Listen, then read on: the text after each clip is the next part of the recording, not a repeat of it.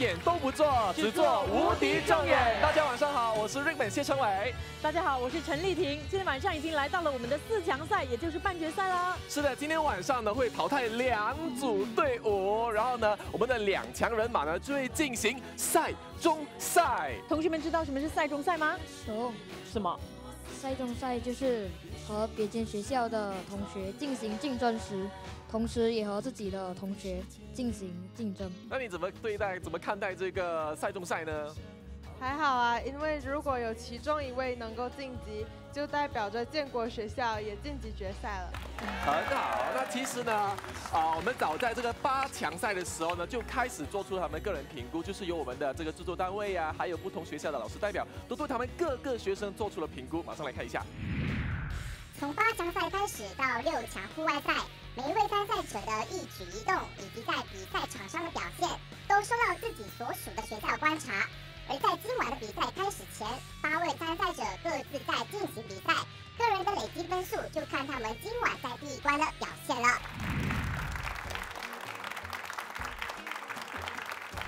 马上要进行的第一个回合，我们叫做键盘最抢手，题目林林总总，涵盖百科题啦、文学文化题啊、地理等等。是的，所以我们的选手呢，就要对我们的题目有一定的了解之外呢，那当然他们对这个呃汉语拼音啊，他们的这个打字速度啊，或者是脑袋转得快不快等等呢，都非常的讲究的。总之要快很准啦。哦，如果答对的话，每一组都可以得分，只是最快答对的得二十分，第二块得十五分，第三块得十分，第四块得五分。是的，我们在第一个这个回合里面呢，总共会有十二道题，每一个学生呢都要回答六道题。同学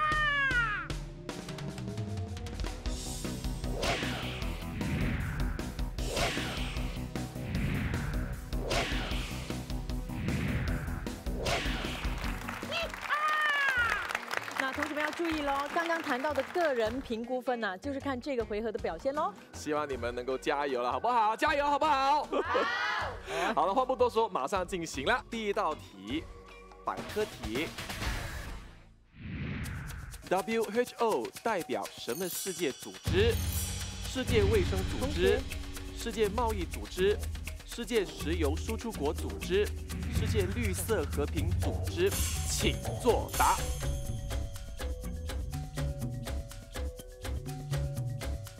我来看一下荧幕，到底谁最快把答案写上？哦，是潘宇。嗯，我记得上次我读一个呃资料，就好像读到 WHO 是属于世界卫生组织，所以我印象特别深刻。第二快的是谁呢？用了大概七秒的时间。记得我的父母曾经跟我说过，呃，WHO。WHO 是世界卫生组织。那你觉得英文名的全名是什么？World Health。什么什么什么？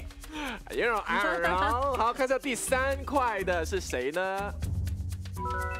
尊孔。卫生在英文就是 hygiene，所以我 WHO H 是代表 hygiene，所以我的答案是世界卫生组织。哦，他用 health，他用 hygiene。最后一个写上答案的就是建国啦。那你写的答案是什么呢？世界贸易组织。哎，能不能解释一下？我慢慢推断出来的。OK。好，我们来看一下正解。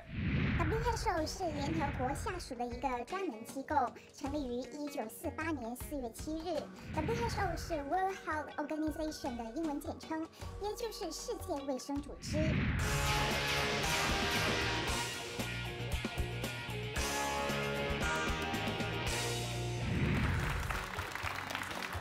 好，马上呢看一下我们第二道题，请听题。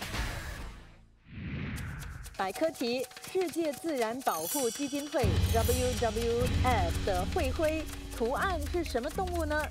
丹顶鹤、大熊猫、人猿、老虎。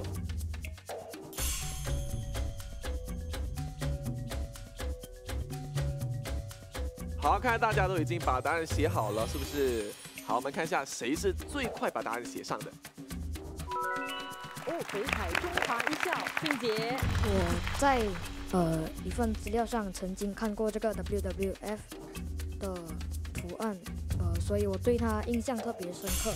那个图案是一只大熊猫。好，第二块的是谁呢？哦建国，写的答案也是大熊猫，我是上网看到的。嗯应该不会记错的哈。嗯，他四秒就答出来了，也很快了，刚才是最后嘛，现在有嗯排名第二，嗯，他努力了。有加有加快你的速度了。来，第三名是谁呢？宽武，呃，因为我上次看过这个世界自然保护基金会的图案，竟然是大熊猫，呃，我觉得很可爱，我就很记得。最后一组答题的是尊孔嘛？尊孔，看看他花了多少时间答什么答案？也是大熊猫，用了七秒的时间，所以到底答对吗？看一下正解。根据 WWF 其中一位创始元老表示，创立基金会初时，他们想要找一个美丽、受威胁并惹人怜爱的动物，以便吸引更多人的关心，并且想找一个黑白色系为主的动物，以便节省印刷的成本。于是，可爱的熊猫就成了 WWF 最完美的代言人啦。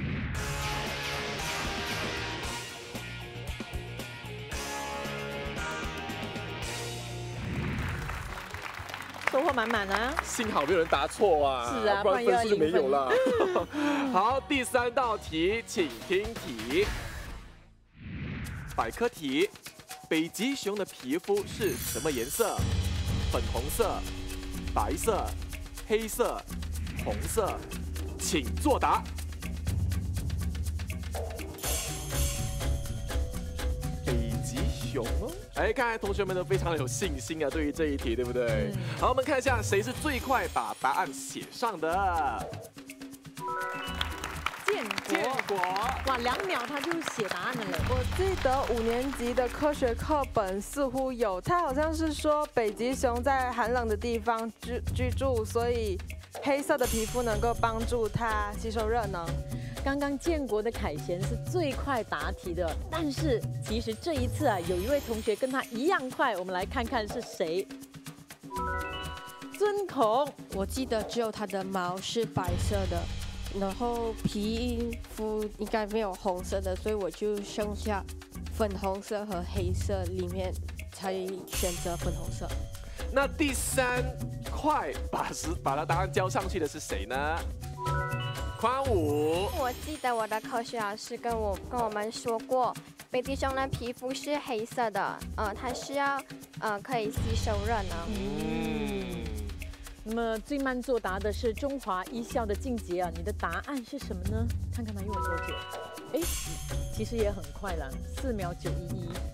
但是你的答案是白色皮肤，因为北极熊话不是白色的吗？那是毛发白色吧？皮毛跟那个不一样。我们来看看正解是什么？北极熊是世界上最大的陆地肉食动物，又名白熊，但是它的皮肤并不是白色，而是黑色的哦。由于毛发透明，所以外观上通常看起来以为是白色，而造成误解。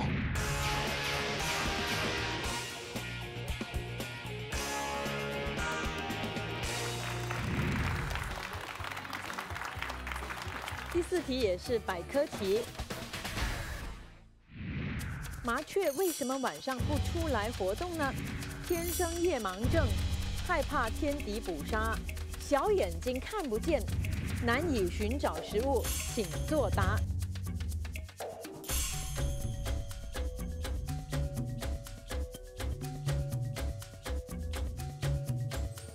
好，那到底谁是最快而且又最准把答案写上去的呢？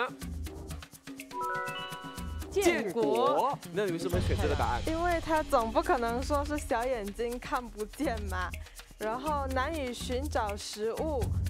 世间有那么多东西能让他吃，他怎么晚上不去找，白白天又去找呢？然后我就从天生夜盲症和害怕天敌捕杀中选择了天生夜盲症。OK，那第二块的是谁呢？北海中华。一校，静杰。我的答案是难以寻找食物。好，那为什么他会难以寻找呢？找不到，找不到，我怎么都找不到。好，那第三块的是谁呢？宽武，呃，晚上就有点昏暗，就比较难找食物吧。最慢作答的是尊口哲宇，我认为麻雀在晚上，因为晚上比较暗，所以应该比较难找食物。晚上睡觉就可以了，对不对？还出来找食物干嘛？没有啦，他能够 keep 到这样好的身材，就是因为他晚上不吃宵夜，吃不吃这个夜宵难。怪麻雀虽小。正 马上来？看一下正解。麻雀是天生夜盲症，麻雀的视网膜里只有圆锥细胞，而没有圆柱细胞，所以一到晚上，圆锥细胞失去作用以后，它就什么也看不到了，只好乖乖躲在巢中，等到白天才会出来活动。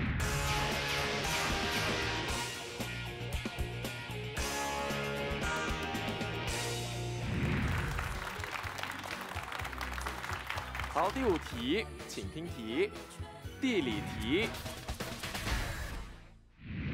安南的油中园在南北大道旁的平原上，收成总是不好。他应该把油棕种在排水量少的土地、排水良好的丘陵地、沼泽地、高山多雨的地方。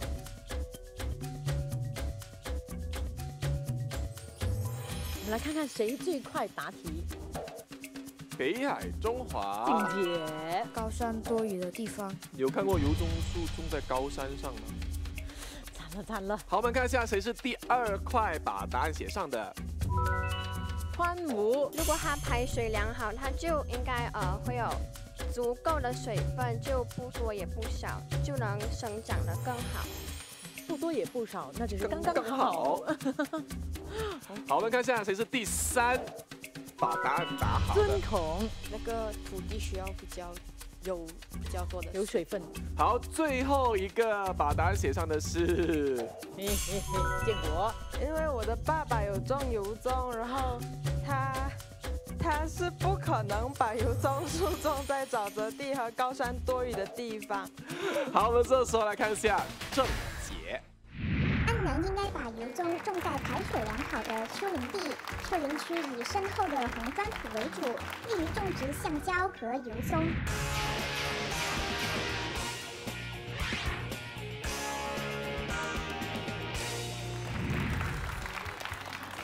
好，四位同学，你们剩下最后一道题可以挑战喽。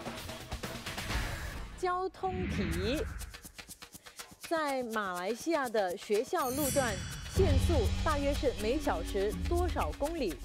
二十公里、四十公里、五十公里、六十公里。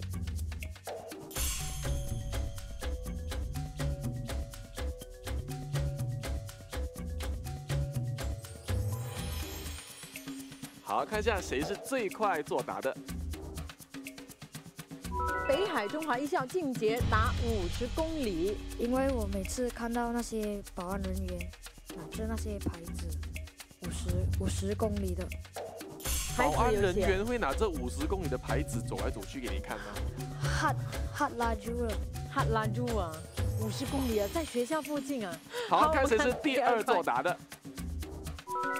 宽五，我看过我学校附近都有放着那个二十公里的那个牌子啊，哦，所以我就很肯定我答案是对的。哇，他很肯定他答案是对的耶，会不会不同学校范围放的那个牌子的速度不一样啊？被人家换掉了。好，我们看第三块的同学是谁？尊孔，这个问题想到的答案是三三十公里，然后所以我就在二十公里和四十公里之间选择。最后一组作答的是建国，在学校路段嘛，车辆都必须放慢速度，所以我觉得每小时二十公里最慢的，我就选择了这个答案。啊，我也希望你们答对哈。我们来看一下正解。我国的高速公路一般限速为每小时一百一十公里，某些路段可能降至九十公里，以路面标志为准。普通车道限速九十公里，市区限速六十公里，而学校区域限速是大约四十公里。所以你们都没有获得分数啦。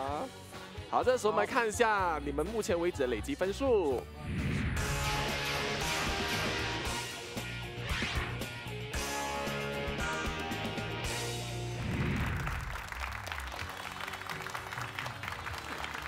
好，接下来我们就换第二组同学上场了。可是换第二组同学上场嗯之前呢，我们先借鉴广告，回来继续比拼。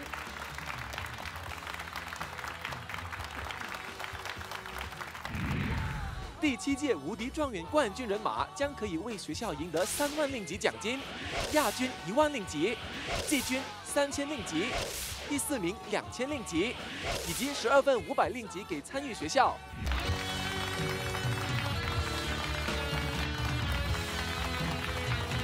欢迎回来，我们无敌状元的考场，我们继续我们第二轮的这个键盘最抢手。换上我们第二组的同学了，我们来看看是谁呢？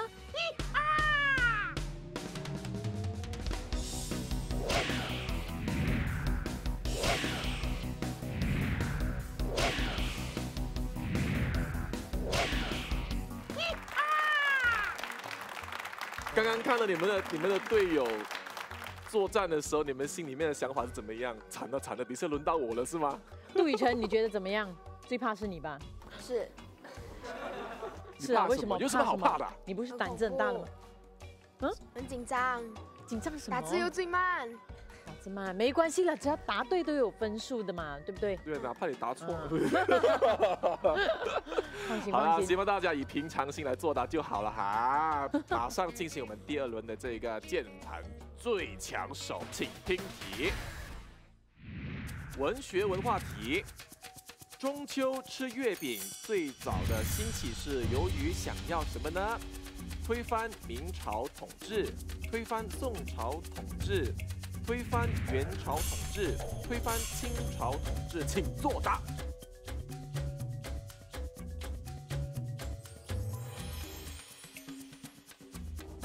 好，谁是最快作答的呢？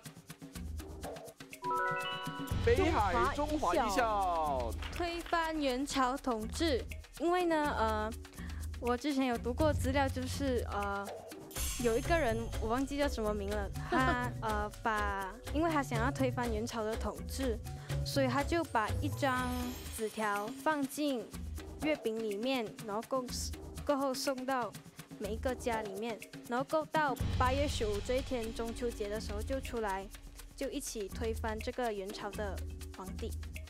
嗯，我们看看谁第二了，我们看谁是第二的。欢舞，呃，我的答案是推翻元朝统治，因为当我看到这个选项的时候，嗯，我就觉得有印象，就选了这个答案。好，谁是第三作答的呢？尊孔，我的记忆非常的深刻，因为我的妈妈是啊、呃正月八月十五这一天生日的，所以我记得是特别的深刻。哦，那妈妈生日的时候都会讲一遍这个故事。不是，没有啦是他要送蛋糕给妈妈吃的时候，里面都会塞纸条。妈咪，我要提高零用钱。好，建国是最慢的，那写什么答案呢？我的答案是推翻元朝统统治，因为我印象中曾经在资料读过。为什么你的印象不是宋朝、呃，明朝？因为我认为宋朝和明朝不是很可能。好，马上来看一下正解。中秋节吃月饼，相传始于元代。当时中原广大人民不堪忍受元朝统治阶级的残酷统治，纷纷起义抗元，所以推翻元朝统治就是这题的答案哦。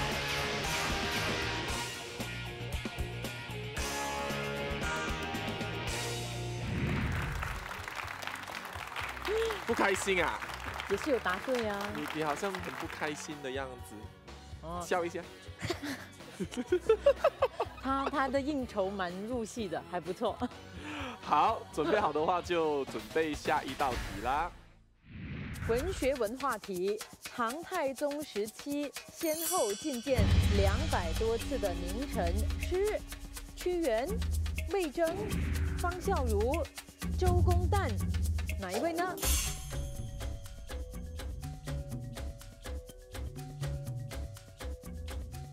好，那我们来看看这一次谁最快啦？尊孔，俏童，屈原，虽然我觉得我的答案可能是不太正确的，但是我还是觉得我要拼一搏，因为这一个这一道题目我真的是不太清楚。那我们看看第二块的是谁？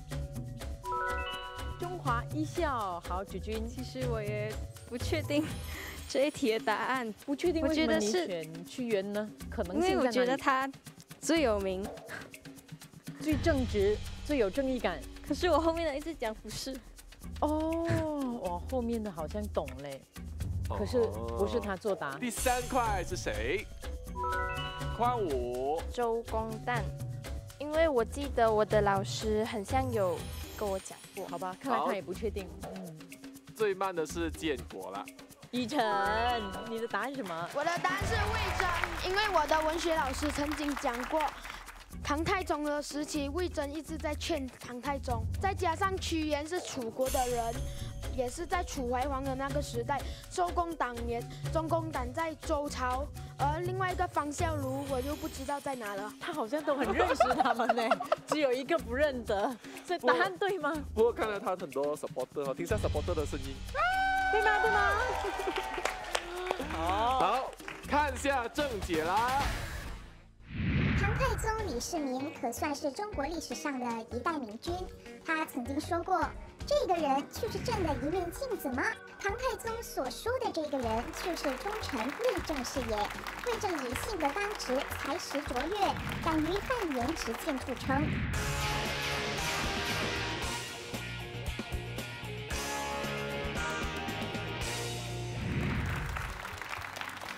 最慢就拿二十分啦，恭喜建建国国。。不过题目有点难哦。嗯，这要要认识很多历史人物。文学文化题：明朝规定用什么选拔官吏？世卿制度、军功爵制度、察举制度、科举制度，请作答。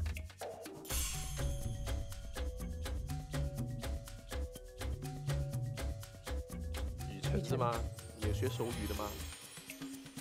别管以后将如何结束。好，来看一下谁是最快作答的。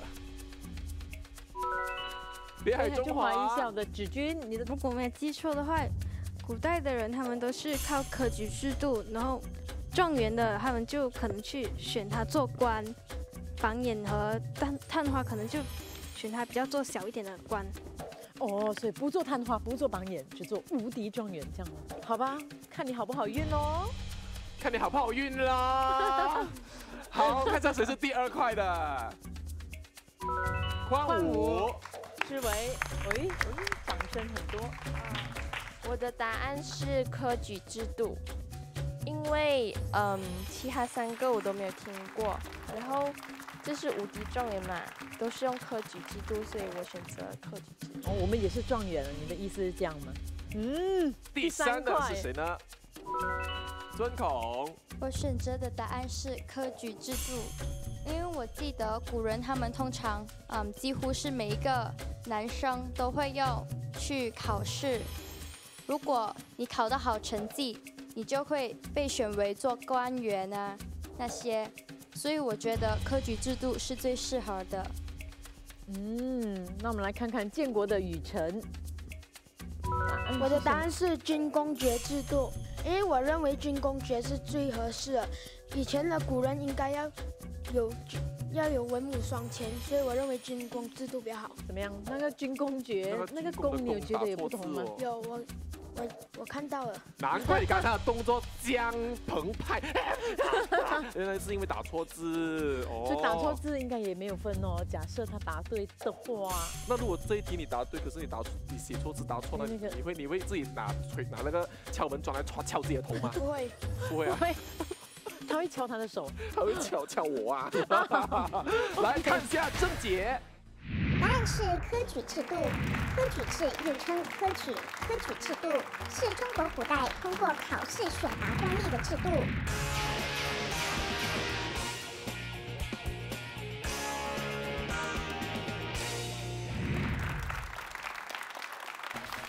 科技与人文题：世界上第一台只能加和减的机械计算机是谁发明的呢？帕斯卡、莱特兄弟、安迪生、贝尔，请作答。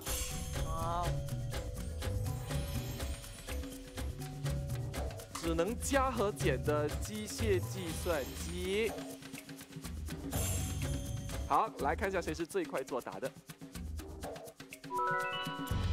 哎，北海又是中华中华一校，芷君的答案是我的答案是帕斯卡，因为呢，呃，我十分确定这题的答案。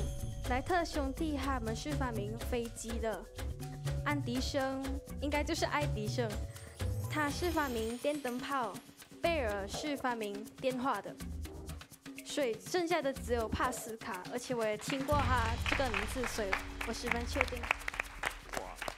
不到安迪生两秒哎，是啊，他打字的速度很快，脑筋也转得很快。嗯，好，谁是第二快的呢？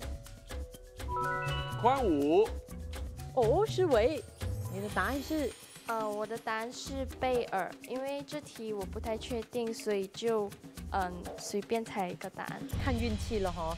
我们看第三块的吧。尊孔，嗯，我选择的答案是安迪生，因为我非常的确定莱特兄弟是发明飞机的，然后贝尔也不是，所以我的选择是从帕斯卡和安迪生里面选择。嗯，安迪生童话故事。哎哎，我讲出答案了。嗯，呃建国，答案是什么呢？我的答案是帕斯卡，因为我曾经在资料上读过帕斯卡是发明只能用加和减的机器计计算机。好，来看一下正解。一六四二年，法国哲学家和数学家帕斯卡发明了世界上第一台加减法计算机。它是利用齿轮转动原理制成的机械式计算机，通过手摇方式操作运算。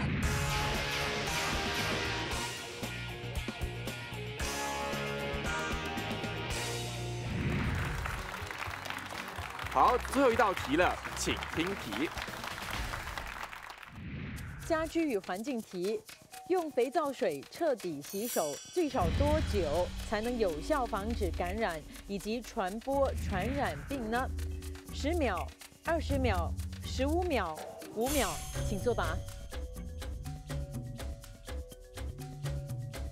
真的好快耶！洗手，我们一般都不会算时间嘛，对呀、你会拿着那个计算机那边倒数你二十秒、二十秒、几秒、十五秒、十五秒、十秒这样洗吗？没有可能吧？可是诶，我好像听过说唱一首歌的时间呢，是吗？两只老虎，哦，是吗？呃，不知道。OK，你这样来看，我们来看谁是谁是最快作答的。哇，每一次都是中华一校的芷君哦，两秒就作答了。你的答案是？我的答案是二十秒，因为我觉得十秒和五秒太少了，应该洗不干净。那呃，十五秒，我觉得还是二十秒洗比较干净。洗越久越好，嗯洗到手都烂了。好，那第二跟第三都是同时间的，我们来看一下到底是谁呢？建国，哦，我的答案是十五秒，因为我我认为啊十秒、五秒比较短，而二十秒又很长了，所以十五秒是刚刚好。那跟你一样快的，不知道答案一样吗？是谁呢？尊孔俏彤，选择的答案是十秒，因为我觉得二十秒好像太长了，五秒又太短，所以我觉得十秒或十五秒这两个答案是比较比较嗯有可能但是。嗯有可能的。，OK，不知道你对不对哈？看最后一组同学答案是什么？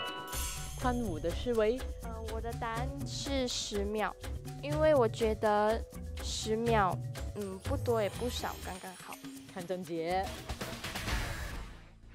根据甲型 H1N1 流感预防干预措施应用技术指南指出，双手擦肥皂或洗手液，搓洗双手的手心、手背、手指、指尖、指甲以及手腕，最少洗二十秒，才能起着防止感染以及传播病菌的作用。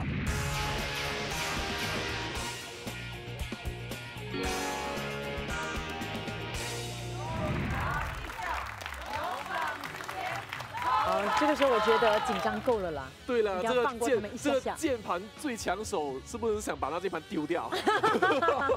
气死了！好，对了，已经结束完毕了这个环节，我们先休息一下，回来之后呢，有另外一个环节哦。第七届无敌状元冠亚军人马将获得由 Generasi Nirvana Sendirian Berhad 赞助迷你平板电脑、电脑产品以及五十令吉书券给所有参赛者。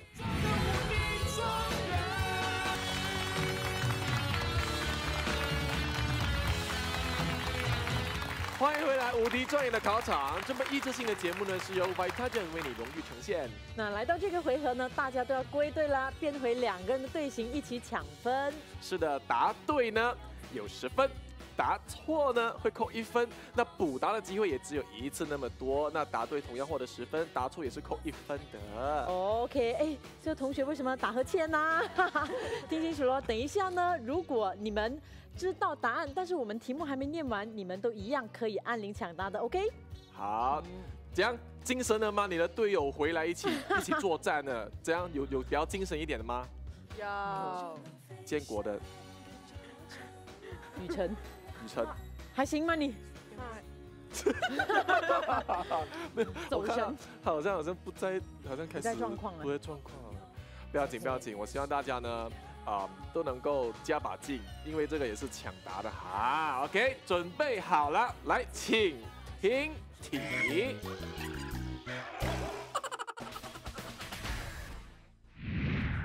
大熊猫亮亮和星星哦，是建国。我的答案是 B，缓缓，暖暖。暖因为因为我曾经在南洋学生看过这一篇，而且在有奖问答我们也有填过这个答案。太快了！我对啊，我们的题目呢，就是说这个亮亮和星星呢，去年就是在我国生下了他的这个小熊猫，终于有了名字，名字就是你刚刚抢答那个，答对吗？你觉得？非非常肯定，一定对。嗯，非常肯定一定对的话，就要恭喜你答对了。哇，眼明手快哎，真的是。才念了两个字啊我才念两三个字就叮噔，OK。好，其他同学要赶快了，那个那个北海中华应该要快一些了哦。嗯，哦，准备第二道题。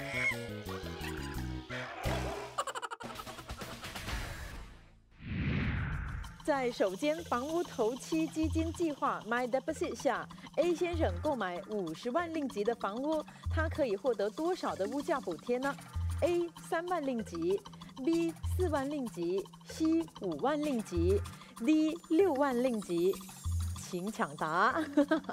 谁想要争取分数？哎，建国。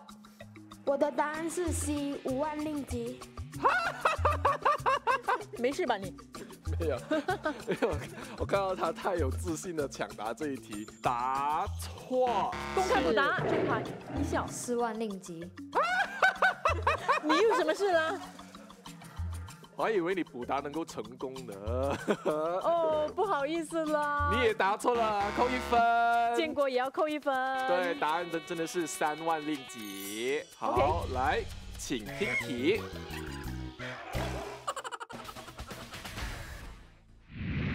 今年四月，我国的哪一个旅游景点被全球领先旅游平台 TripAdvisor 公布？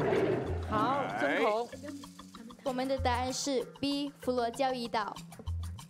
确定吗？确定。恭喜你答对了，有十分。OK，第四道题，请准备笑眯眯了。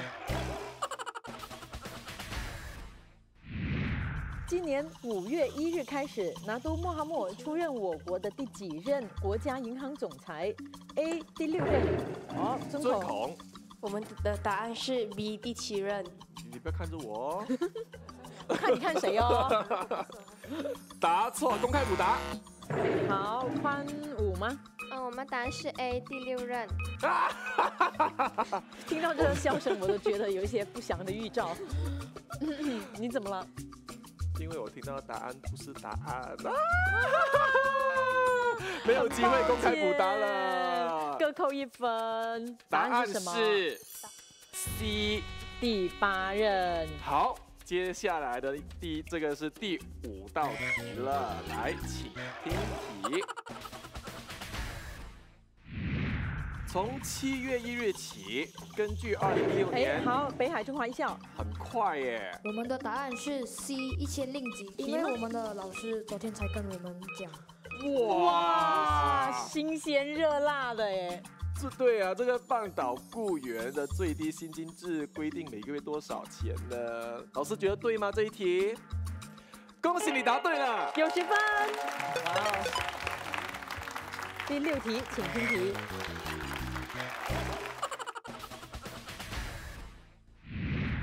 今年第三届全球杰出华人奖成绩出炉，有多少名马来西亚籍名人在百名杰出华人中脱颖而出？A 一名，B 二名。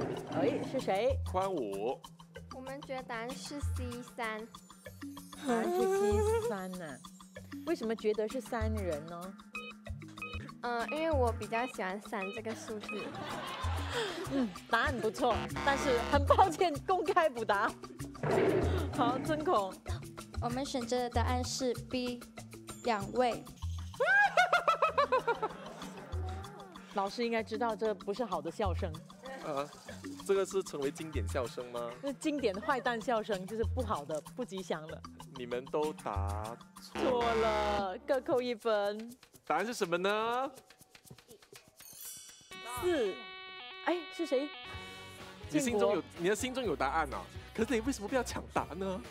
抢不成，抢不成，不是不要，是要不到。怎样？通过这六题之后，你们觉得都 OK 吗？这种问题都会难得倒你们吗？好难，好难啊！可是你们刚才都有答对啊，应该还蛮有信心的，不是吗？没关系，我们来看看你们累积了多少分数。感觉上我们问了六题之后，那个分数的那个距离也蛮大的，不是？越来越明显了，好像很明显了。接下来只剩下只四题剩下而已四题而已耶。不过这四题呢，嗯是要在我们广告回来之后才会考你们的。来，先休息一下。第七届无敌状元十六强人马，每人都可以获得 Flip 运动产品一套。欢迎回来我们无敌状元的考场，剩下四题，我们就能够决定胜负，谁能够进入我们的这个总决赛了。是啊，有两组要被淘汰，大家有没有心里很害怕？接下来这四题，如果尽全力的话，嗯，虽然进入决赛的几率也不大，但是至少我们努力了。很好是很好。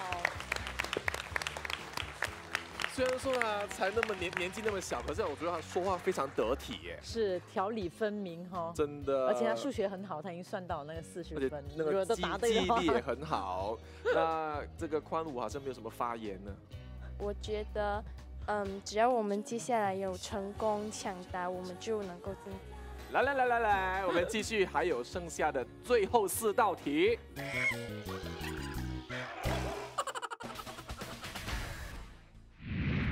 世界卫生组织那今年一月发表报告，指全球有最少多少名五岁以下的孩童呢，属于超重或吃肥？A 四万，B 好，尊孔，我们选择的答案是 B 四十一万，为什么？因为反正都是没有机会的，就拼一把吧。他的字题我都要抢完你看，，你看我动，我就知道他们的心态。其他人不用答了，肯这四定的题是我们的。这一定肯定的，就算没有机会，我我就死死的按，我不要给你答。可能这样也抢到一个十分，对不对？对啊虽然也没有机会啦。所以我要说，答错公开补答。你看，你看，你看，五，们觉得答案是 C 四百一十万。我知道你的意思了。我我也知道你抢抢答的用意，是不是跟他们一样？呃，对呀、他的意思是觉得怎样嘛？建国你要我就是要学起来这这个机会，嗯我死都不要让给别人，是不是？所以我说建国你一定要学起来，要跟他一样策略。所以答案是答错，答案是 D 四千一百万。哇，这么多胖子啊分，！双方都扣一分。十，OK，剩下三题啦。今年一月，哪个国家的国会通过极具争议的法案，容许没收难民的资产作为补贴照顾难民的开支呢？A. 美国，B. 日本，C. 马来西亚，D. 丹麦。哎呀，我就故意念的比较快一点嘛。北海中华一校，哎，学到了这一招啊！我们的答案是 C，马来西亚。是不是真的学那一招？你看他的脸就懂了嘛。就知道。答错，公开补答。好，建国。我们答案是 A，美国。我我这样笑我会很累啊，其实。你用太多力，你收一收。不好意思，你你也是故意把这个公开补刀机会自己先拿掉，对还是错也不用紧，对不对？我就知道，答错扣一分。两组都要扣一分，答案是什么呢？D，丹麦。OK，剩两题。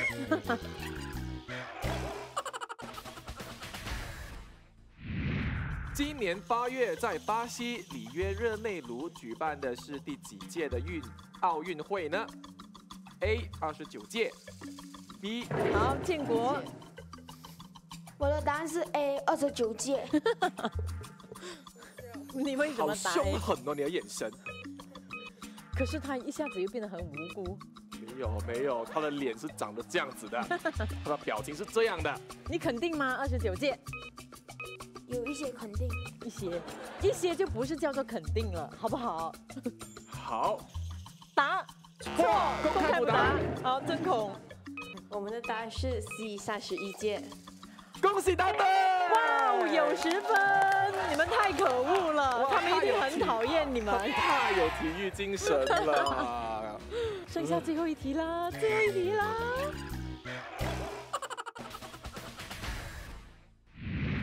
以下哪一项运动项目是本届里约热内卢奥运会的新增项目？A 铁人三项，B 水球，还我。呃，我们答案是 B 水球。为什么是水球？因为我比较喜欢玩水。你看这种人的心态，你看，很明显，很明显，我知道你的用意。好，答错，公开不答。哇，建国。我的答案是 C 现代五项。你很确定你的答案吗？有，不是很确定。可是你讲的语气非常确定。现代五项是什么？因为铁水球原本就有，高尔夫也原本就有，剩下来就是铁人三项跟现代五项，反正选一个就对了。反正最后一题了嘛，对不对？嗯。谁说奥运会是没有，呃，是有这个 golf golf 的？答。错，扣一分。嗯，已经没有人公开补答了。答案是高尔夫是新增的项目啊，十题都已经完成了。我们终于完成十道题了。这时候呢？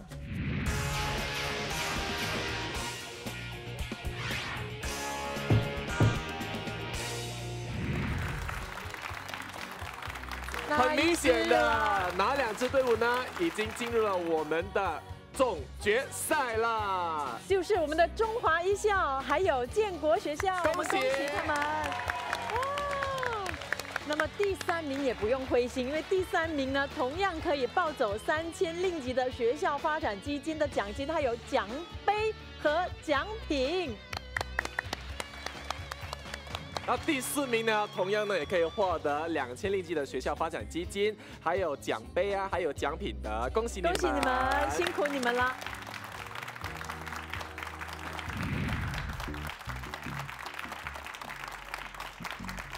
其实呢，我们的节目呢也还没有结束的。那这四个同学当中呢，哪两个才可以进入我们的总决赛呢？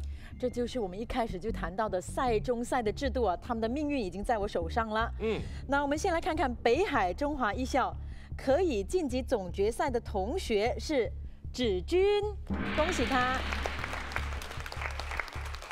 那么在我们身旁另外一位一组同学建国可以晋级的同样是女同学凯贤，恭喜。恭喜两位都可以代表学校呢，就是进入我们的这一个总决赛嘛，以这一个第一首选的身份进入决赛。第一首选什么东西啊？看一下画面你就知道了。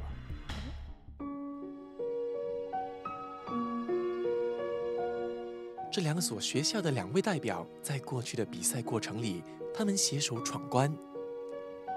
他们给我们看到彼此之间的毅力，还有让人感动无比的合作精神。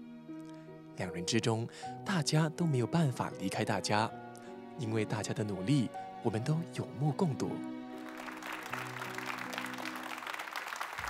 所以，我们这里要慎重的宣布，进入总决赛的还是以两个人的队形的身份一起进入总决赛。是的，我们总决赛呢会有这个正选还有复选的身份来比赛哦。哦，那么到底谁会成为我们第七届的无敌状元？谁又会和我们的无名状元来一场比拼啊？战情令人期待哦。